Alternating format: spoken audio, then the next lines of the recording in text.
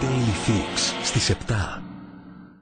Έχεις αλλάξει, Αλεξάνδρα. Η κόρη μας αγνοείται και εμείς καθόμαστε και σφαζόμαστε. Δεν σου πω, δεν περίμενα ποτέ ότι θα πέφταμε τόσο χαμηλά. Βρήκε τη στιγμή να σου κάνει ψυχολογικό πόλεμο. Η Χρύσα πραγματικά μας έχει σαν πρότυπο και κατάλαβε ότι κάτι δεν πάει καλά. Μη σκέφτεσαι έτσι. Δεν φταίει για τίποτα. Οι ευθύνες, Κινδυνεύω να πληρώσω τη δική σου απερισκεψία. Είναι δίκαιο να την πληρώσω εγώ για όλους μας. Να αλλάξεις την κατάθεσή σου. οι ενοχές, Του έκανα. Σ' αγαπάω, το καταλαβαίνεις. Το μαθαίνομαστε και πάλι μας. Για πάντα. η αλήθεια και το ψέμα. Αυτό το story εμένα δεν μου κολλάει καθόλου. Όλα κάποια στιγμή βγαίνουν στο φω. Κλεμμένα όνειρα. Ξέρει η Χρύσα που δεν το ξέρω εγώ. Σήμερα στις 7.